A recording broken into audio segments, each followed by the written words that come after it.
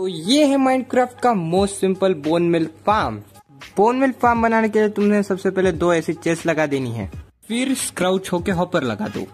फिर उसके ऊपर एक कंपोस्टर लगा दो। और कंपोस्टर के ऊपर भी एक हॉपर लगा दो।